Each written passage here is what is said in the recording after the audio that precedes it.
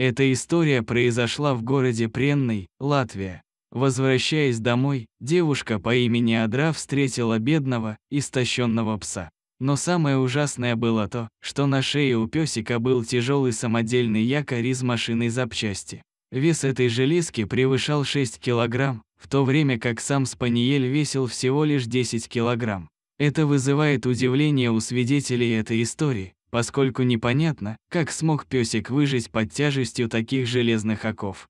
Собака чудом спаслась, и представить себе, как этот маленький, красивый спаниель держался за жизнь в последних силах, просто страшно. Он сделал невероятные усилия, чтобы не утонуть под весом этих железных оков, которые казались лишающими его всякой надежды на спасение. Адра, будучи добрым человеком, моментально взяла эту бедную собаку к себе и освободила его от оков. Затем она пошла к ветеринару, чтобы узнать, не получил ли пес травмы, опасные для его жизни. К счастью, несмотря на все страдания, собаке ничего не угрожало. Тору был предписан покой и восстановительная терапия, включающая прием витаминов и питательной пищи.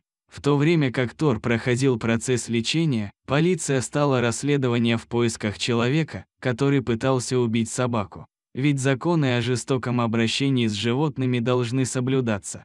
Конечно же, полиция отыскала хозяина песика. Этим человеком оказался мужчина с инвалидностью. Он объяснил, что не смог защитить своего маленького друга от опасности из-за своего состояния здоровья.